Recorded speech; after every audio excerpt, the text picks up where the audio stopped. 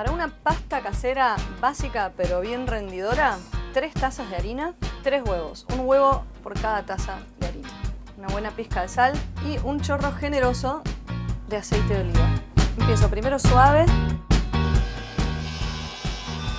Tierno. Esta masa descansa media hora como mínimo.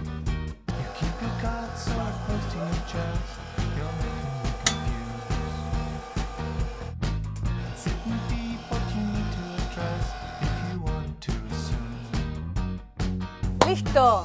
Pasta fresca para todos.